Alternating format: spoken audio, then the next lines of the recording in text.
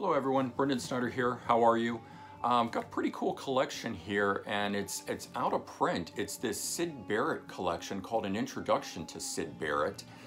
And why I really like this uh, predominantly is that it actually kicks off with Pink Floyd uh, material that Syd Barrett was of course part of and it's got a number of singles that didn't appear on their first album Piper at the Gates of Dawn but then it moves into Syd Barrett's solo. So it's a really nice collection of Syd Barrett's uh, full career going from his uh, Pink Floyd days through his solo material uh, in the very uh, early 70s, just after he left uh, Pink Floyd. And so this uh, collection um, kicks off with Arnold Layne and then See Emily Play, Apples and Oranges, which is a non, you know, non-album single, um, and this is a stereo version of it on here. And then it's got Matilda Mother, and that's the 2010 mix of it. So the other cool thing is that this isn't just a straight, uh, you know, from the album kind of collection there. They've pulled some different versions of them uh, when added onto here. Then uh, chapter 24, also Floyd, and Bike by Pink Floyd, uh, the last track from Piper at the Gates of Dawn. And those are the first six on here from Pink Floyd. And then tracks uh, 7 through 18 are uh, Syd Barrett solo.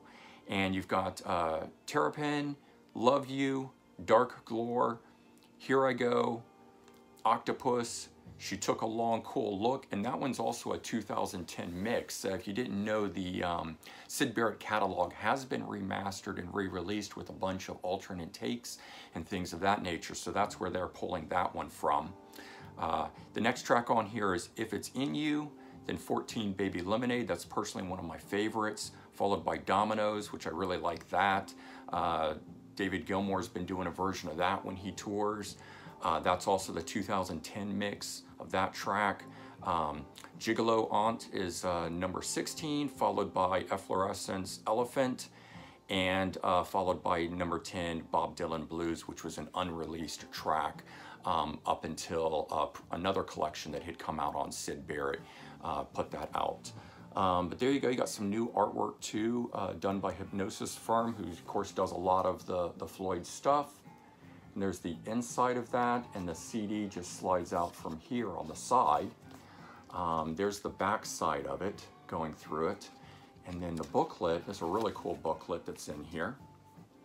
So there's the, the cover of that. And of course you can see, you know, they make it up with the, uh, see the apples and oranges and uh, the planes and different things that reference uh, the Pink Floyd and the solo material titles and stuff. Um, but you got some really cool shots that are in this thing. You get the lyrics and then all this other very cool artwork that goes along with it.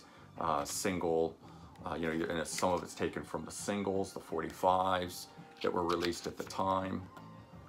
But uh, done very much in the style of what we know the artwork on the inside of Piper at the Gates of Dawn and uh, uh, some of the later um, albums but very well done in my opinion. No write-up or anything of that nature, uh, but you do get some cool art along with it and the remastered quality of this stuff is just superb so uh, to get a hold of that um, and then I just also really liked this too again the, the apples and oranges the front of that's the apple the back side is the the orange um, and of course that's revealed by when you pull out the booklet there all right there you go. It's a really cool uh, Syd Barrett collection called An Introduction to Syd Barrett. It is out of print. Uh, if you, uh, uh, you know, hunt and wait for a little bit, you can usually find a copy for about 15 to 20 bucks on Amazon. I had to wait a little bit until somebody posted one of that price, but uh, it did pop up. So I don't think you have to pay the exorbitant costs of some of these that are out there going for 50 and 60 bucks. Um, but uh, yeah, really cool. If you like uh, the, the first album in the Syd Barrett era, I totally recommend checking it out and being able to hear um, the, uh, uh you know, his, his career in its entirety. All right, if you enjoyed this, please remember to comment, like, and subscribe. Let me know your thoughts. Hope everyone has a great day, and I'll talk to you all real soon. Take care, everyone. Bye-bye.